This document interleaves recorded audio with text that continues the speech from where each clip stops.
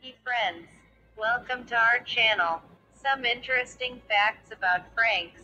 Who were the Franks? The Franks emerged from the ruins of the Roman Empire in the 476 AD as the dominant people of Western Europe. Their leader, Clovis, extended his lands around the river Rhine in Germany through war and by 540 the Franks ruled most of the old Roman province of Gaul. The first Frankish ruling family is known as the Merovingian dynasty, after Clovis's grandfather Meroveus.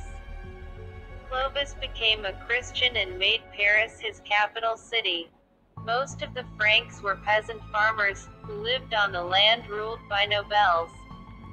They grew food, doing the seasonal tasks of plowing, sowing and harvesting and also had to fight for their lord when he went to war. The Frankish system of land holding and service was the beginning of the feudal system in Europe.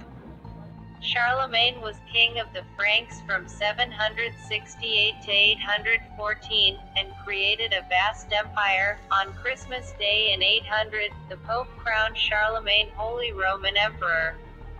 After the death of Charlemagne, the Frankish began to break up. The Frankish king Charlemagne introduced a writing known as Carolingian script, which was easier for people to read and write. Charlemagne's mother was called Bigfoot Bertha.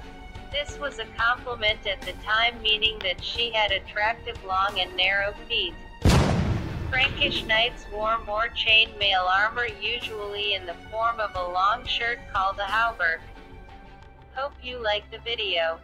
Thank you.